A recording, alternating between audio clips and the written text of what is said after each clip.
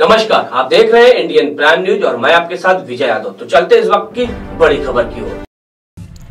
थाना महाराजपुर के अंतर्गत मोतीपुर गाँव के उच्च प्राथमिक विद्यालय में छोटे छोटे बच्चों से पानी भरवाया जाता है और पेड़ों में पानी डालते ही मास्टर साहब को चाय पिलाते हैं और गेहूँ राशन भी लेते हैं। यह है योगी राज में बच्चों का भविष्य एवं स्कूलों का भविष्य। लड़कियों से पोछा लगवाना, लड़कों से गमले में पानी डलवाना चाय बनवाना गेहूँ आदि चीज़ गाँव से मंगवाना।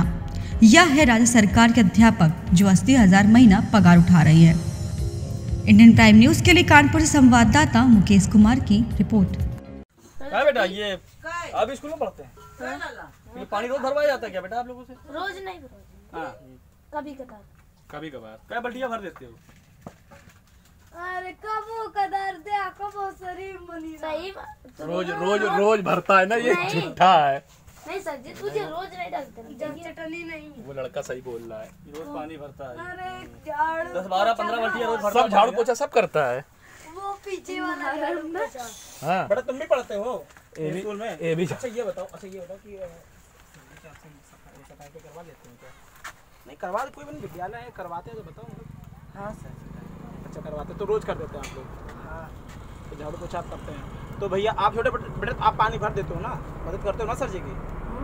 तो रोज भरते हो कि नहीं भरते पानी? हाँ। रोज नहीं डालते। हाँ। मतलब कौन कौन सी कौन सी क्लास में है आप? सिक्स। सिक्स में। आप कौन सी क्लास फाइव में। क्या नाम है आपके स्कूल का? प्राथमिक कौन सा गाँव है? मोतीपुर। मोतीपुर। अच्छा अच्छा अच्छा। केवल आप ही लोग साफ़ सफ़ाई और बच्चों से नहीं कराई जाती है? सब लोग। से। करवाई जाती तो तो यहाँ पे तो वो भी होंगे ना? आया लोग तो आते होंगे सफ़ाई वाले।